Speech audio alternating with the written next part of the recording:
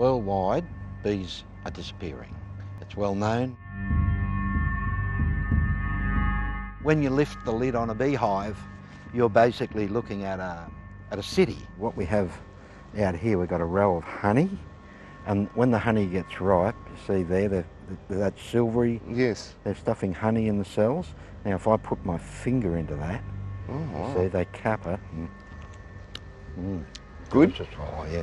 The white suit is to protect me from the bees, but a barrier far more sophisticated is going to be needed to protect the bees from a tiny pest that threatens to wipe them out. What we're particularly interested in is um, looking into ways in which we could probably control a pest that's gone around the world.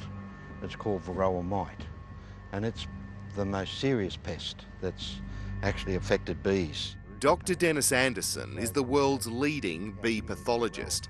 It's become his mission to protect Australia's honeybees and free the world's bees from the varroa mite.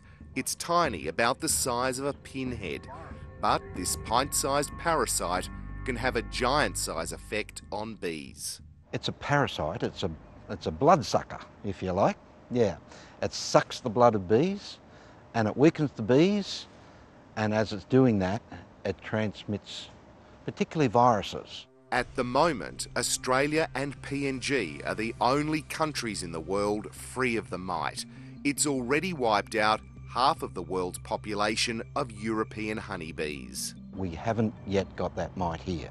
When the mite does arrive, our bee numbers will surely decline, as they've done everywhere else. You say when it arrives.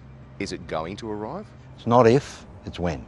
And that's what Dr. Anderson wants to prepare for. After 25 years with the CSIRO, he's now gone out on his own, establishing an organisation called Bees Down Under. What I've decided to do is to go public and try to get private industries on board to come in and support us.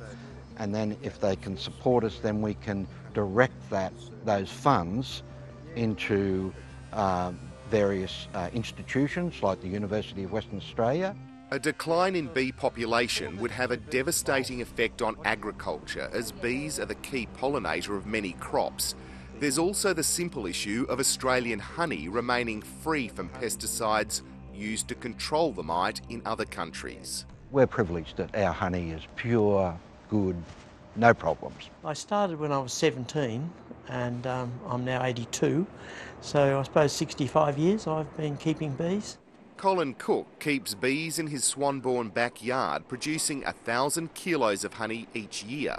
He's one of an increasing number of backyard growers, which is evident by the recent surge in numbers joining the WA Apiarist Association. When I joined, there's probably about 20 members.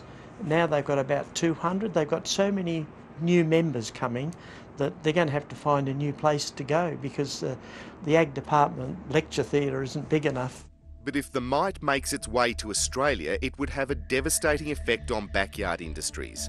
Research into bee behaviour is being undertaken all over Australia.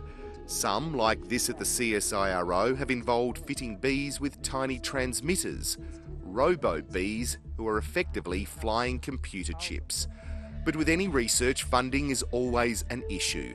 It's a problem Dr. Anderson is tackling head on, so he can unlock the secret life of bees and outwit the mighty mite. We've already identified a weakness in its life cycle.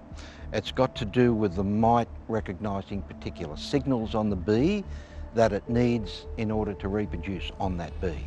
It could be one of the clues to overcoming the mite and protecting our bees. I think bees are fantastic. They're one of the most interesting things on the planet.